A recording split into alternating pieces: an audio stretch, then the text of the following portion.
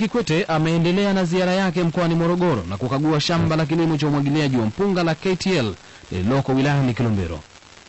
Akiwa njiani kuelekea shambani huko, Rais Jakaya Kikwete amesalimiana na waalimu na wanafunzi wa shule ya msingi Hanga ambao wamemweleza Rais Kikwete kuwa miongoni mwa kero zinazowakabili ni uhaba wa vyumba vya madarasa na nyumba za waalimu na hivyo kumwomba rais awasaidie kutafuta uvumbuzi.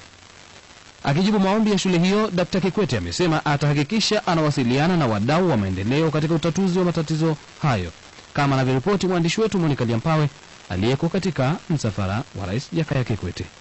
Kikwete aka akaahidi kuwapa kiasi cha shilingi milioni tatu ili kuweza kuendeleza ujenzi wa vyumba hivyo nyumba hiyo ya walimu, ambapo uh, aliendelea na safari yake ya kuelekea huku, ambapo njiani pia katika kijiji cha Mbingu, kata ya Mbingu, alielezwa kwamba kuna tatizo la barabara, umeme, maji, visima ni vichache, koji cha Tandale, ambapo pia pale alielezwa kwamba